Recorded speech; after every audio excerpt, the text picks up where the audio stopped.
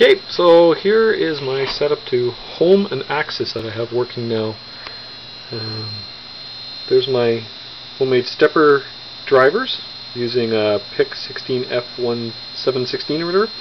There's my little breakout board with uh, all the outputs.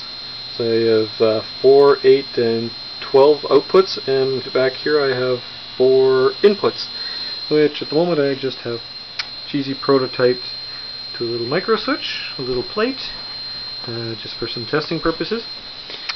So we go and tell it to home the y-axis.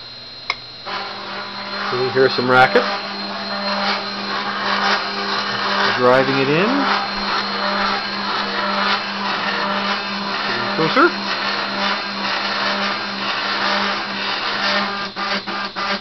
And it's homed.